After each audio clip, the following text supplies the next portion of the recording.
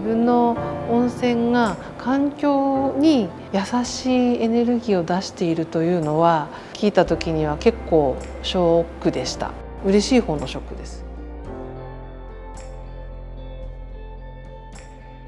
オープンして1年で母が亡くなりその2年後には父が亡くなって予定していたことが崩れてしまったのと温泉に関しての知識が全く私にはなくいざとなった時のメンテナンスとか手入れの方法を知らないまま温泉の管理ができない状態でいました。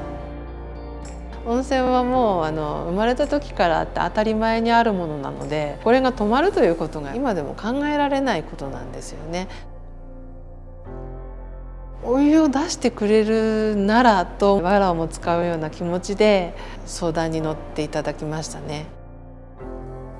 これほど安心したことはなかったですね。うちみたいな小さなお湯でも電気が作れるというのはありがたいと思いました。大事なお湯を電気を作るという理由で出していただける出していただいたお湯をそのままこちらで使わせていただけるということは一番メリットになってます。みんなが協力し合って温泉を活用できる地域になれたらなと思いますね。